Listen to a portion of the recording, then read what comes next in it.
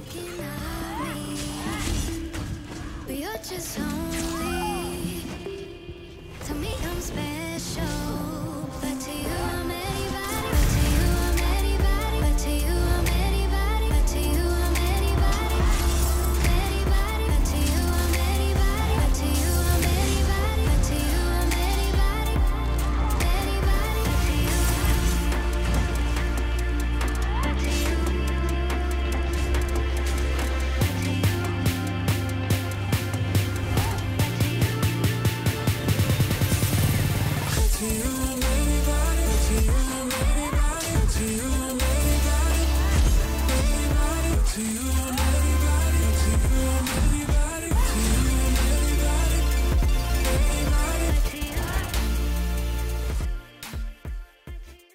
Alright, cool beans. Hope you guys did enjoy that small montage. I'm Hex. I'm finally going to be going over my updated Nightblade build for the Scions of Ithelia patch, update 41, whatever it's called. Let's just get out of the way. This will be a cheese proc set build. Yes, we are running a cheese proc set. You have been warned, so I don't want to hear any complaining in the comments. You've been warned. If that annoys you, door's right over there. Go out. For those people that don't mind proc sets or just love seeing builds, this build is honestly some of the easiest damage you could ever do because this proc set is just getting out of hand. Does does instant damage, AoE, reduces armor, grants you 100 weapon spell damage with a low cooldown. If that sounds the same, it is. And plus, Nightblade's got the biggest buffs this. I don't know why they keep getting buffed, but literally, you have infinite sustain from a new rework skill. Your incaps can do 10% bonus damage. That debuff they have for taking more damage can last longer. I don't know who's balancing Nightblade, but it's just getting out of hand, bro. But sorry for the delay in the uploads. I've been grinding my PC account very hard right now. As you can tell, I am actually on PC. But back to the build. Not only does this build come with the meta tankiness, it comes with some of the best sustain ever seen. Like you can literally build no sustain on a Nightblade and have the best sustain in the entire game because of siphoning attacks. Plus the damage is just insane. If you sometimes just even light attacking into a concealed, you'll burst people for over half their health with this proc set. Like it's just insane. But how exactly we get the strong build in order? Stick around to the end and I'll show you exactly how. But before we get started, if you guys hit the like and subscribe button, really goes a long way. Greatly do appreciate it. But without further ado, let's incap our way into the build.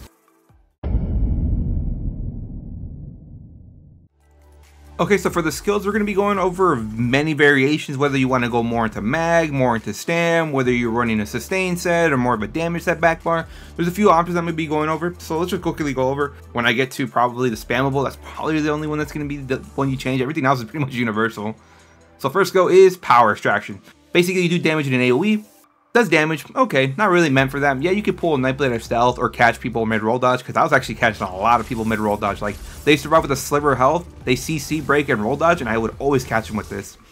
But the main thing is, is if you hit an enemy with this ability, you get Major Brutality and Sorcery, your 20% weapon and spell damage, as well as Minor Courage, increasing your weapon and spell damage by a further 215 flat amount for 30 seconds and if that wasn't enough, any enemy hit with this ability gets minor cowardice applied to them, reducing their weapon and spell damage by 215. I'll get to in a little bit why reducing their weapon spell damage is really strong when we go over our next skill, which is mass hysteria, or most commonly referred to as the Nightblade fear. When you think of the word fear, this is the fear. This is the Nightblade fear.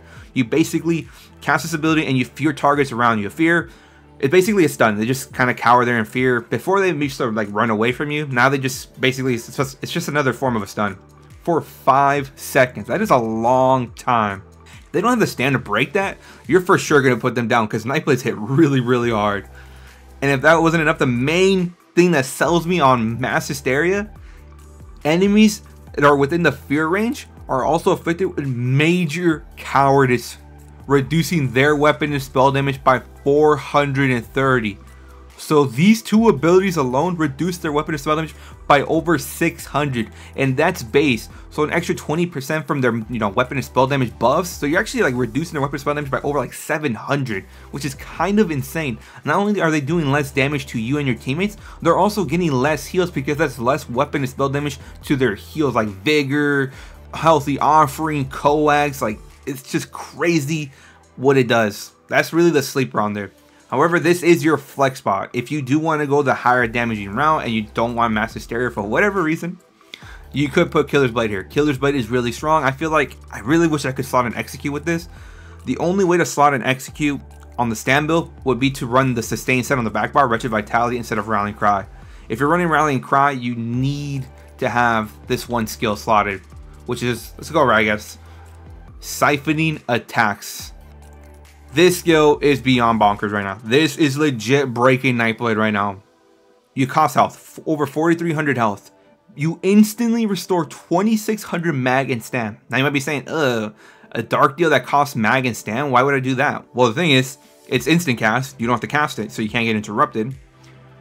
And you get no downside. Unlike there's a certain skill here in the Mages Guild called Equilibrium, costs over half more and you restore slightly more mag and no stam, but you also reduce your healing done and damage heals by 50%. This skill, if you cast it, no downside. You get this resources instantly. So like, let's say I'm magged out. Like, let's say, oh, I need a cloak away. I need a cloak. I get one cloak away.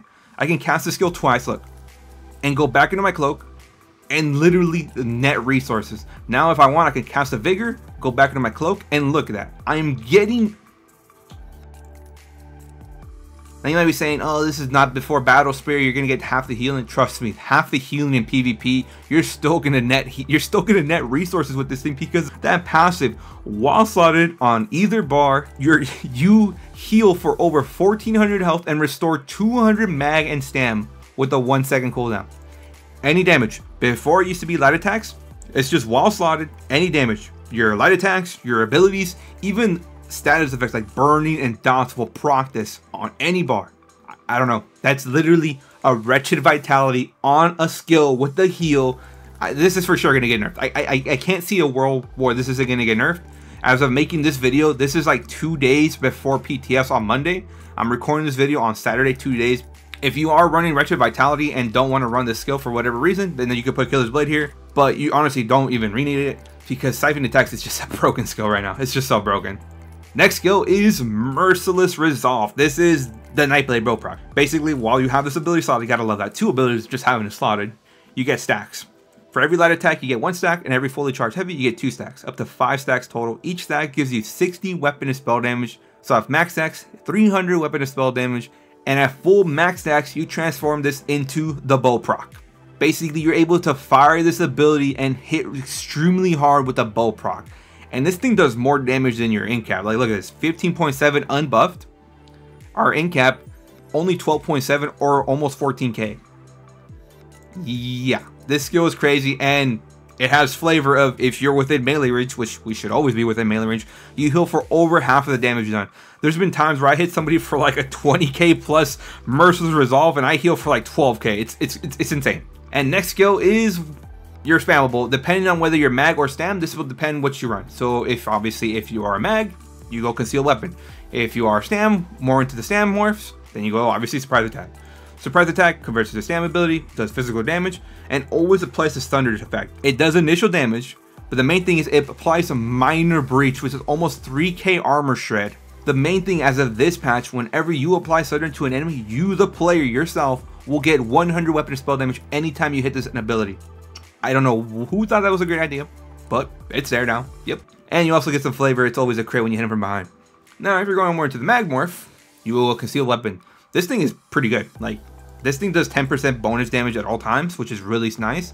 And whenever you leave sneak or invisibility while this ability is slotted, you also get 10% more damage done for 15 seconds on this ability. So kind of like I kind of like this more for the Magmorph, but it's personally up to you. You can go either one. They're really good. Obviously, if you want to go more into the roly-poly, you go to stam more.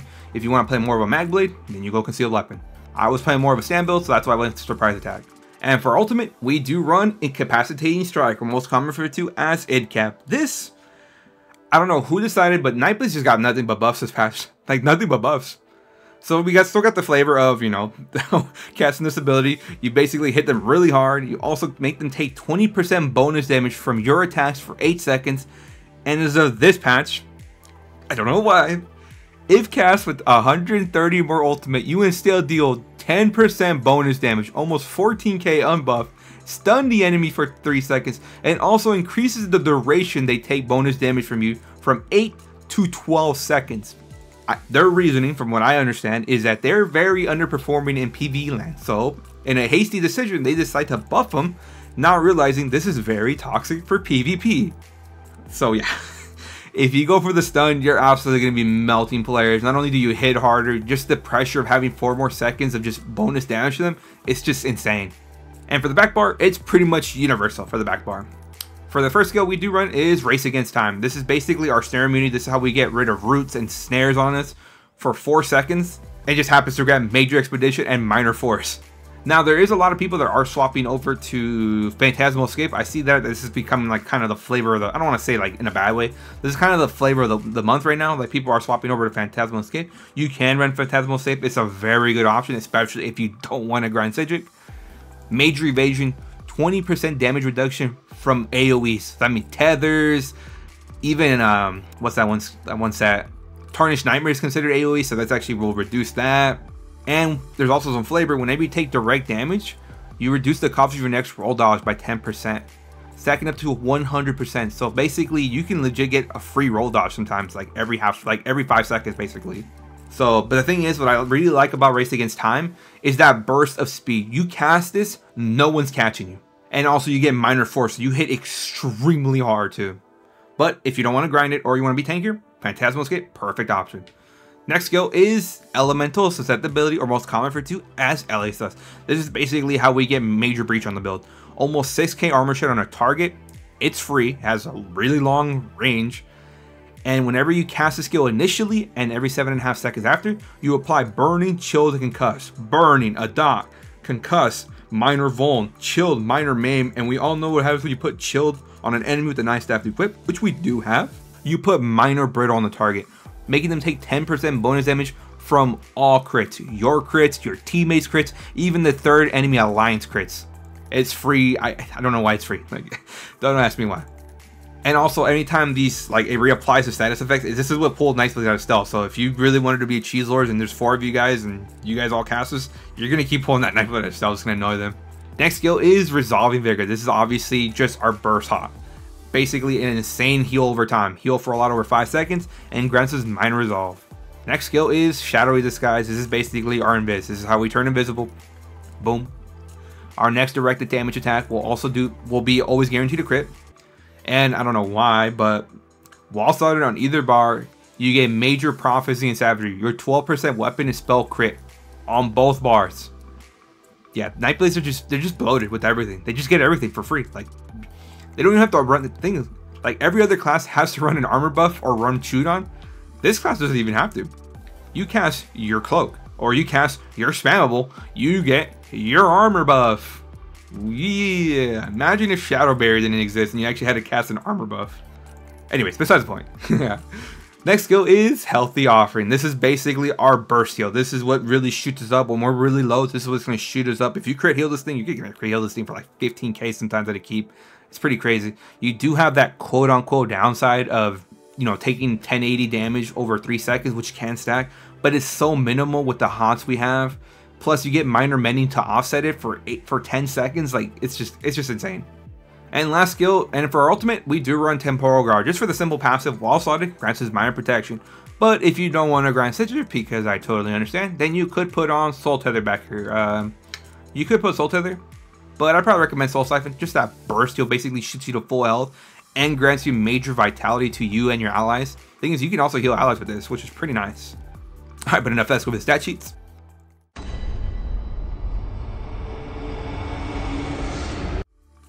Alright, so for our stat sheets, they're pretty much going to be very similar. If you want to go more into mag, obviously you're probably going to have more mag than you have stam, like probably 22k plus pushing. But for me, I went more into the stam version. So max mag over 18k, really nice. Max health over 32k. Wow, I can honestly put more points in a max dam because my max dam is pretty low at 21.6k. Not bad, but still pretty good. And our mag recov is at 1202 and our stam recov is at 1220. That's before a pop, so if we just pop a simple tripod here, we get almost 1500 mag recov and over 1500 stam recov. That's really nice. Might look a little low, but you have to realize this skill siphon attacks basically gives us 400 mag and stam recov. And if you really wanted to get to it, like let's say you're really magged out, you only have time for one mag, like one cloak, but boom, cast it. I can cast two of these skills, go back into Cloak, cast two more, go back into Cloak. That one, little delay in the server. I might be saying, what if I need a heal? You can cast a Vigor, and you can keep doing it in stealth. You're really low. Like, like it's just, it's just so crazy. Like there's times where I'm like 1vx and I'll literally cast this in front of players into their face and they still can't burst me down. But anyways, back to the stat sheets. And our weapon is spell damage, so there so for our fully prompt weapon spell damage, all you gotta do is be in PvP. You gotta crit on your back bar. Mbo. Come on. Come on, baby. And all we gotta do is hit now, hit this ability. Come out of cloak. And look at that. Our weapon is spell damage is over oh, basically almost 6100 weapon and spell damage. That's insane. And that's before a Balorgh's proc. And our weapon crit, when we crit, we get over 47% weapon crit. That's even more insane. And our weapon and spell pen is over 10k. And that's before Balorgh's. And I, I mean, we all want to see the, the damage of Balorgh's, right? Let's check it out. Now for our physical and spell pen, over 10k. This might fluctuate between you. Might bounce back between like 7k up to 10k. The reason it does that is because this little passive here, uh, where is it? Is it not pressure points? Master Assassin. This thing isn't supposed to show up on the tool on your tooltips, but sometimes it does. So that's why sometimes your penetration will show up a little higher.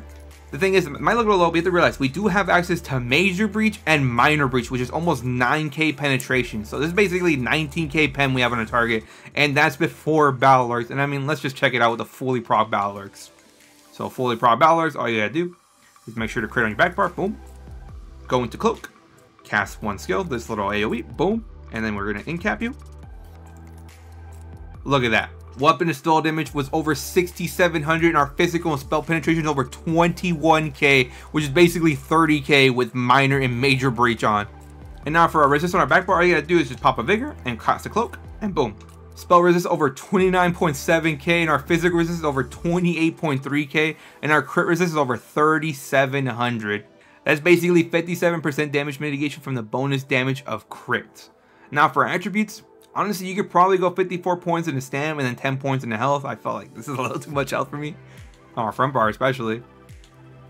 So yeah, but if you are going more into mag, obviously you just put 54 or 44 into mag and then the rest into health. For the food, we do run Jewel of Misrule, same purple food, perfectly fine. And for the Mundus, we do run the Shadow because Nightblade, we especially have really, really high crit on this build.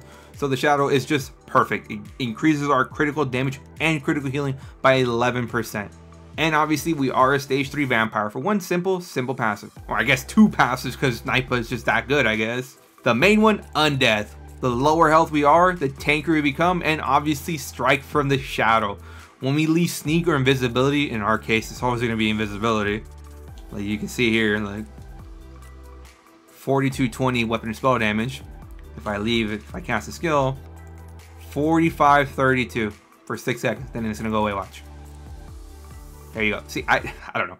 And for our race, we are a kitty cat. I mean Khajiit. Khajiit is just hands down the best for Nightblade. It's probably one of the best races in the entire game for any class, especially Nightblade. We get robustness, increases our health, mag, and stamina recover by 90. Okay, not bad.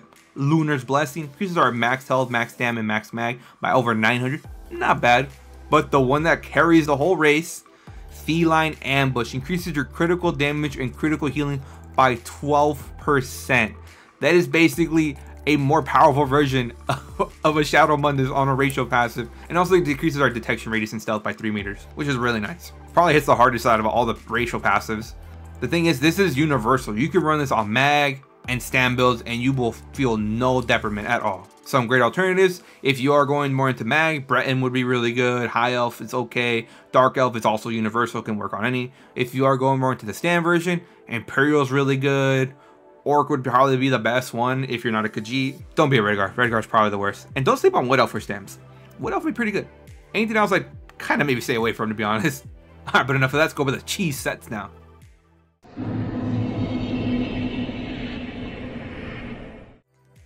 Alright, so for the sets, first set we do run, obviously, surprise, surprise, Rallying Cry. Yes, Rallying Cry is just that good. I don't know why you wouldn't run it. Now, I might be saying, Hex, Rallying Cry again, can you get any more original? Well, tell me any set that's better than Rallying Cry, Wretched Vitality, Trickery, or Clever Alch. I'm pretty sure the people that are saying those those nasty things are the people that run Balorghs and Sea Serpents on every build and think they're quote unquote unique. But anyways, enough of that little joke. Basically, Rallying Cry. I mean, it's there's it's a no-brainer. You get two lines of crit, which is really nice. Already got me sold. While Battle Spirit is active, basically anytime you're able to kill a player, Battle Spirit is active. So a duel, BGs, Cyrodiil, Imperial City. Anytime you critically heal yourself or an ally, you shoot out a buff around you. That increases your weapon and spell damage by 300 and crit resist by 1650. 1650 crit resist, that's equivalent to 25% damage reduction from the bonus damage of crits. And not only that, this can also affect allies for a reduced potency. The thing is, even if you affect one or two allies, that's 285 between the both of you. So that's over 560 weapon and spell damage between the both of you. Hit uh, two people with this, three of you guys get this buff. That's over 850 weapon spell damage between all three of you.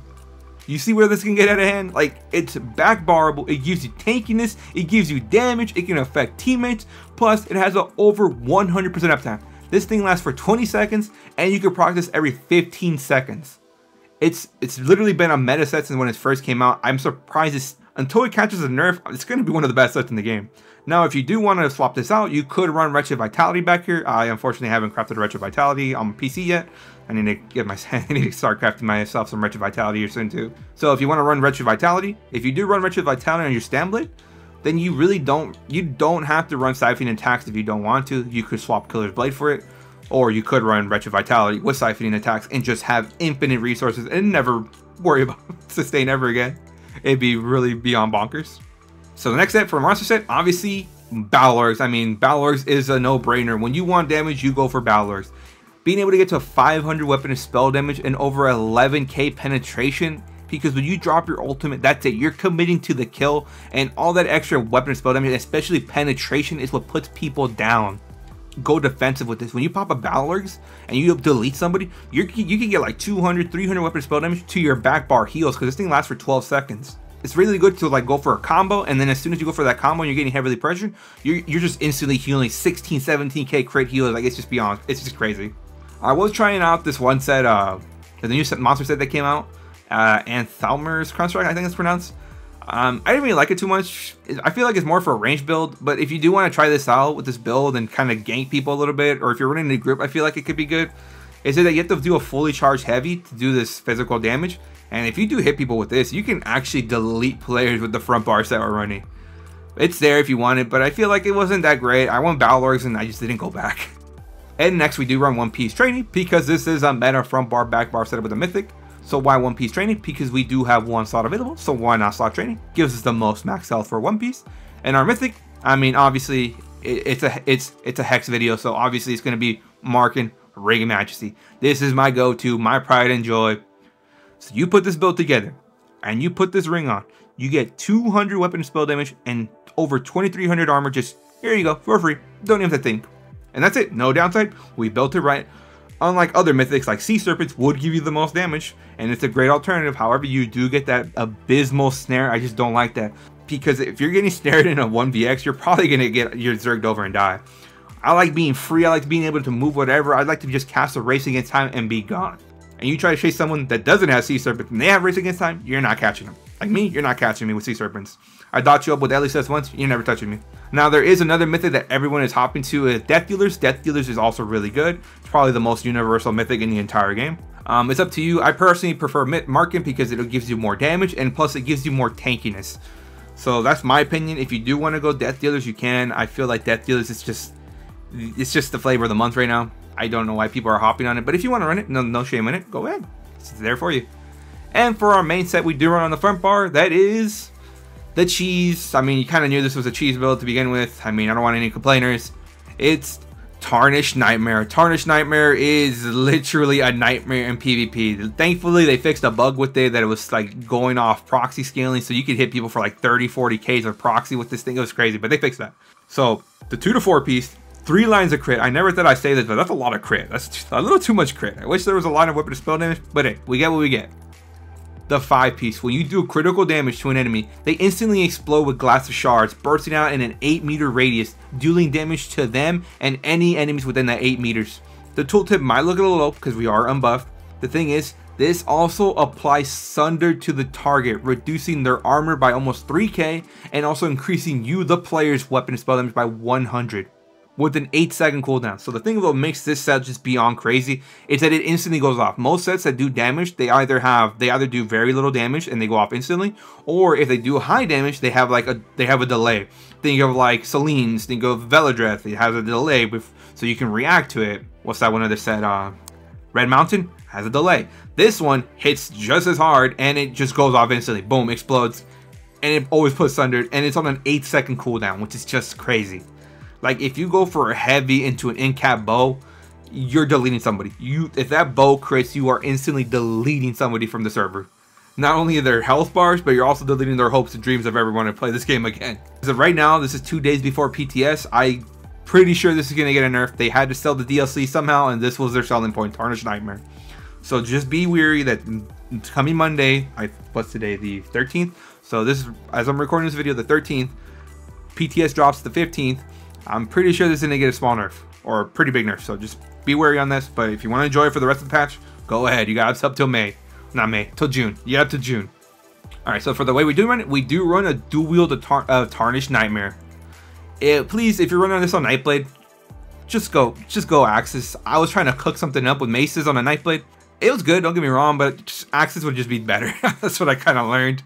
So if you can, but if you do go maces, you kind of made this universal. You can run this on any other build. You can run this on a Stamplar, Stamblade, no, Stamblade, we're already Stamblade. Samsor, you can run this on almost any other build. I feel like Axis is only really, really good on a Nightblade. It could work on other classes, but that's what I kind of went. This is basically the default stamina chain it came with, which was really nice. Good for the stamp sustain, but mostly there be able to proc Sundered. Basically, whenever you do physical damage, you have a chance to proc Sundered, which enchants have the highest 20%, reducing their armor by 3k, and granting you, the player, an extra 100 weapon spell damage. Might be saying, well, don't we get that from surprise attack? Yeah, the thing is, you're not always guaranteed to have it up. Sometimes you gotta play defensive and you have one opening to do an in-cap bow combo. This will be there just in case that Sunder does fall off. And we do run Home. Please, on the main hand, run Home. It makes a difference. And on the offhand, we do run a poison damage enchant with Sharpen. Poison damage enchant, really nice, does extra damage. Plus, they changed poison damage to do execute damage, yes. So basically, if they're at half health, poison, the, the, the status effect of poison will do 50% bonus damage, up to like double damage at low, like 1% health. But if you want, you could put almost anything here. Oblivion damage, um, flame if you, no, not flame, because you get that from LSS. You can put any other enchant. I prefer poison and sharpen because in PvP, penetration is keen. And for the back bar, we do run a Rallying Cry Ice Staff. The enchant, you could go almost anything. Uh, I was actually going poisons. Let me stop them. I was going, I did go drain stamina poisons. Increases the enemy's stam ability cost by 10%. Nice, but not really meant for that. It's mainly meant for this. You also restore 238 stam per second for 5.5 seconds. So that's basically over 1100 stam you're getting back instantly. And you really don't even have to run these if you didn't want to. Honestly, you could put double dot poisons back here and absolutely shred. I might, I might do that. I might put some double dot points back here and just actually smack players. But if you are having more sustain issues, here you go. And for the body, I do run the typical Hex 322, 3 heavy, 2 medium, 2 light. So we do run a heavy Balorgh's helm, heavy chest of the trainee, heavy shoulders of Balorgh's, a light sash and hands of Rallying Cry, and medium legs and feet of Tarnished Nightmare. For the enchants, if you can, try stat all the pieces, and if you can't do that, try stat the big pieces. What I mean by that is head, chest, and legs. And if you can't do that, max damage perfectly fine. Just adjust your health attributes at the end. And for my traits, you know, typical seal approval hex traits, 6 M-Pen, 1 reinforce.